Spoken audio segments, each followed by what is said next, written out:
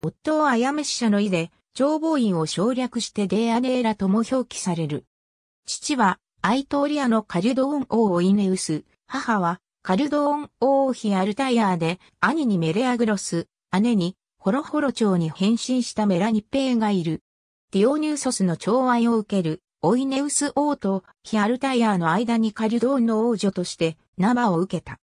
少女期に家臣、アケロースから求愛されるが、父オイネウスの意向で、婿候補になったヘイラクレースとアケロースとが争いとなり、この構想に勝利したヘイラクレースの下に嫁ぎ、3番目の妻となった。ヘイラクレースとの間に着手、ヒュロスを設けた。